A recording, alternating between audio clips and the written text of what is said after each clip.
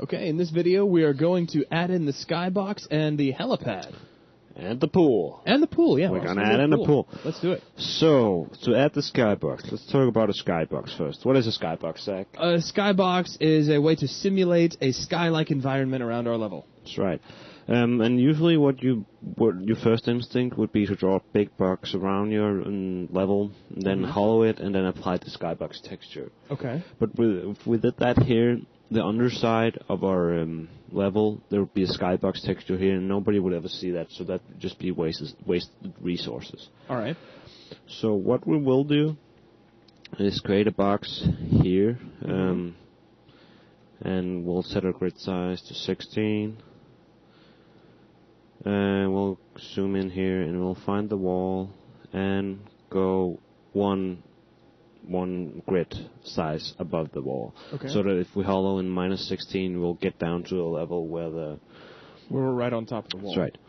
Um, we want to make the skybox a little bigger than the level since we're going to add some barrels that will throw around, and we will not want the barrels to bounce off the skybox. Sure. You don't, you don't want to make a gigantic skybox that is just many, many, many times larger than your level. At the same time, if you're going to have any physics objects that can be flung around, you want to make sure that the player can't accidentally bounce, bounce those off your skybox. Totally breaks the illusion that they're out in the open. Okay, so this looks about good. Um, we're going to go ahead and select the tools skybox.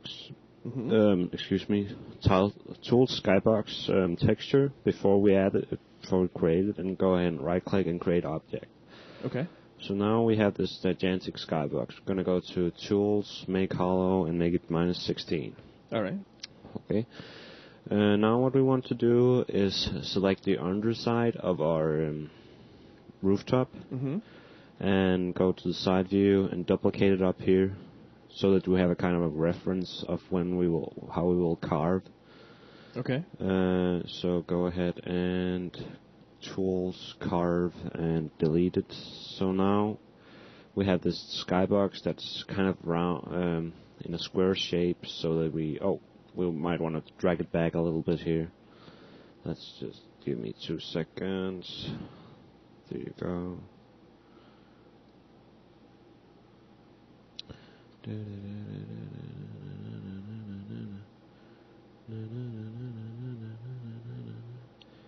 Oh, there you go. Here. Just like this. Seems the skybox wasn't entirely fit that when we carved it.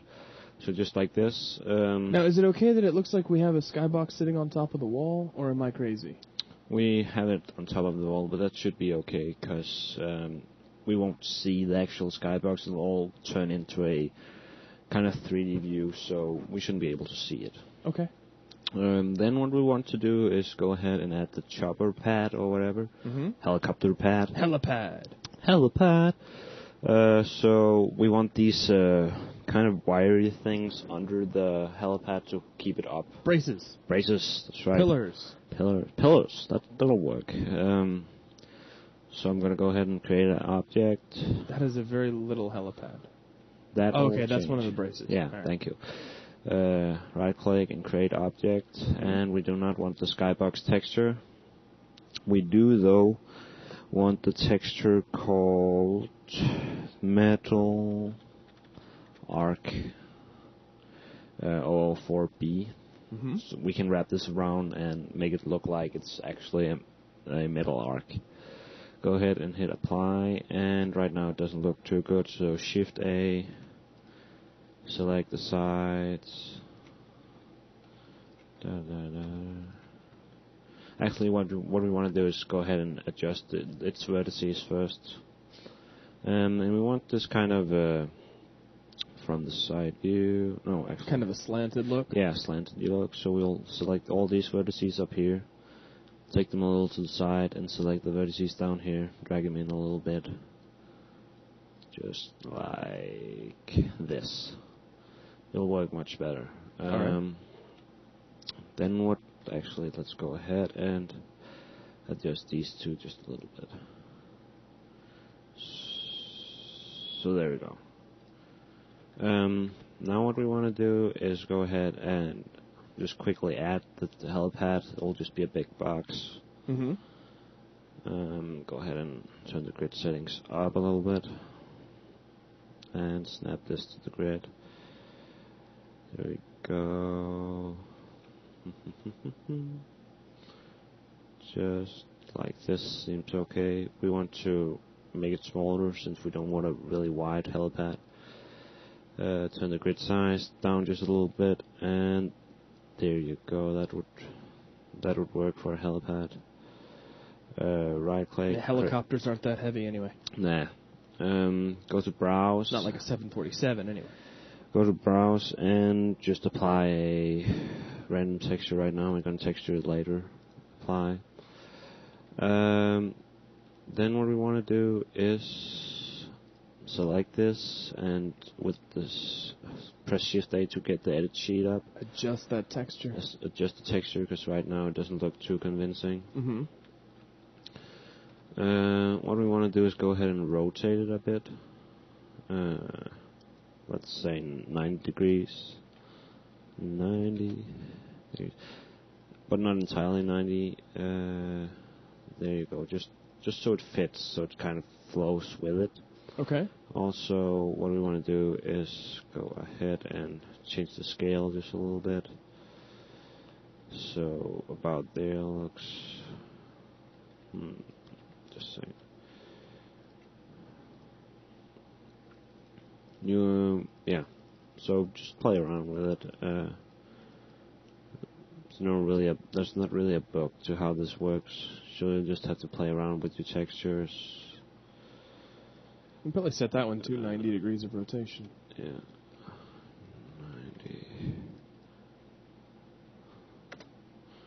Yeah, that seems to work. Uh, there you go. So these two look pretty nice.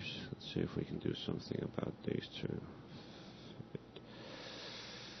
Um, let's see. I think it might look a little better if it didn't kind of flare out as it went upward. Yeah, let's try. Because your texture doesn't do that.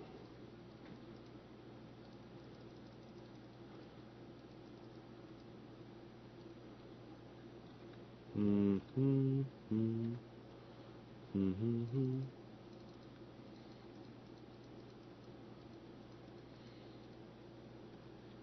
This looks kind of good. Uh, And so you'll probably have an easier time if you make the uh, the edges parallel instead of Oh, having yeah. one go out and one go up. um, we can do that, so go ahead and change the vertices. Go to the side view. Uh, maybe adjust the grid settings just a bit. There we go. Just like this, and let's see. Yeah, this looks much better. Yeah. Uh, I'm going to select these two sides again and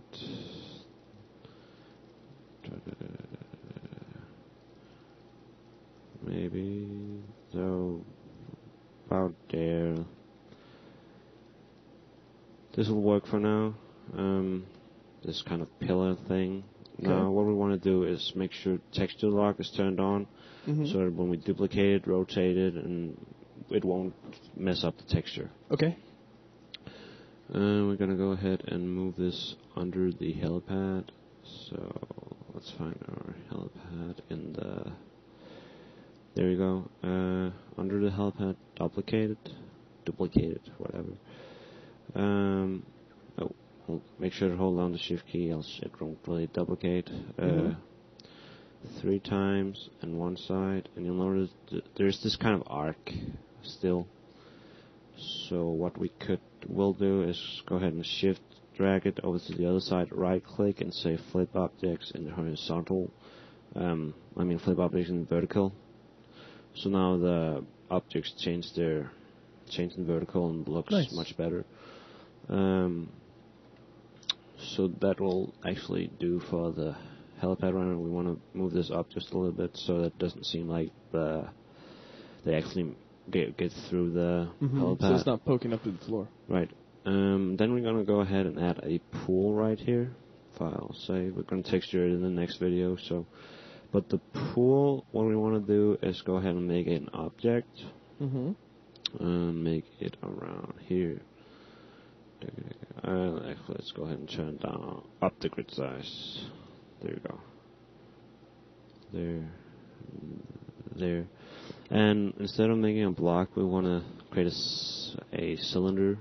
Right click and create the object, and maybe apply another texture just for now. There you go. And when we create a uh, cylinder, we want to carve the cylinder into the floor. Mm-hmm. Uh, but if we just did it now, we would get all sorts of funky shapes because um, when we carve, it has to create uh, squares all over the place. Right. So you don't want to carve a complex object. So what we will do is um, take this and put it down into the floor. Mm-hmm. But before we carve it like this, uh, you usually shouldn't carve a complex object. But if you have to, you can make a uh, box around a block around it. Mm-hmm. Uh, tools and carve this. So you carve out the actual box, or do you need to create that object? oh yeah, I need to carve? create the. Box Do you need to undo now? Create. No, that's fine. Okay. Uh, go to tools, carve, and then we'll go ahead and s- uh, select the sp- the square we made. Mm-hmm. Go to tools and carve this, and you'll notice over here there's all sorts of funky shapes, but not the entire plane is messed up now. Right. So we've Um, constrained all of the, the harsh cutting into that original cube. That's right. Um, So now what we want to do is go ahead and make this actually turn down the grid size again to 16. Uh, we have the the sh- shape selected, Mm-hmm. and we're gonna go ahead and scale it up a little bit so we have a pool area. Mm-hmm. And we want to go to the top view and move it in just a little bit so that we can scale it out in 16. No, actually, what we want to do is go ahead and tools, make hollow, and not minus 16, but plus 16. Okay. And then we want to go ahead and delete. Not actually, we won't delete the top just yet. We're gonna go and put it into a visibility group because we'll need this later. So create a new one that's called trigger. Press OK. Uh, now what we want to do is go ahead and take this object into in the 2D view and copy it. Mm-hmm.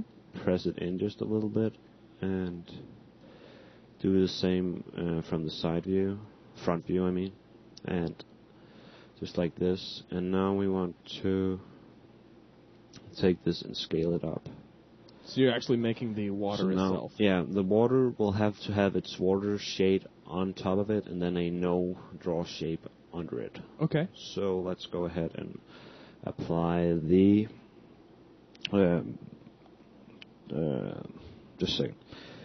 The tools no draw shape to the entire thing, Mm-hmm. and then go ahead and Shift A and choose the texture on top. Go to Browse and type in water Mm-hmm.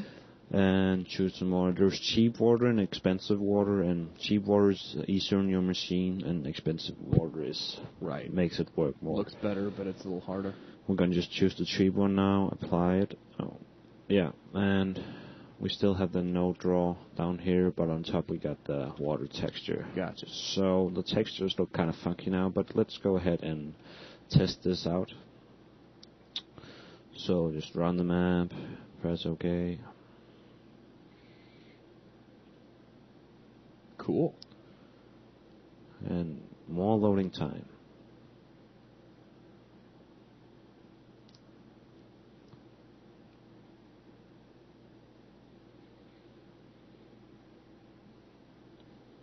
Can't wait to see what it looks like. Loading.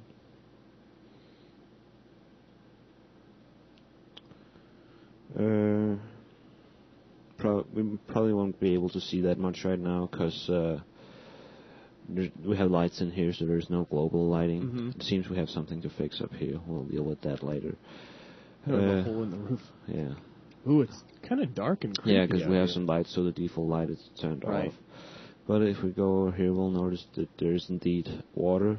Mhm. We got the helipad up, and it looks kind of good with this texture on. At least in silhouette, it looks really nice. Yeah, nice silhouette, and Yeah. there's the water. Um, Cool. Now, in the next video, we want to go ahead and edit that thing in the roof. Plus, we want to go ahead and add a ladder so that we can go on top of the rooftop and add some other props. Okay, cool. Well, that'll wrap it up for this video. Let's go ahead and get back over into Hammer. And thanks a lot.